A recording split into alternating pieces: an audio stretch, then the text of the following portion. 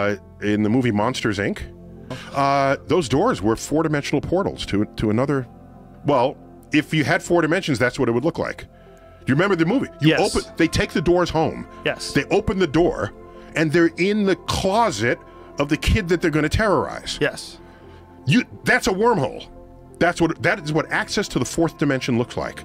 That is a portal to a fourth dimension that can hold vastly more content than what is what you're stuck storing in the three-dimensional space of your room. No. And even though it has monsters that don't exist that all speak English, I'm not judging the biophysiology of these creatures, but they got the physics of of, of four-dimensional portals completely accurate. Now the concept of dimensions is where it gets really abstract with people. I love me some dimensions, and it is abstract. It is, Now- and that's why you you you, you take let the math take you into those higher dimensions because our intuition will not will fail for us.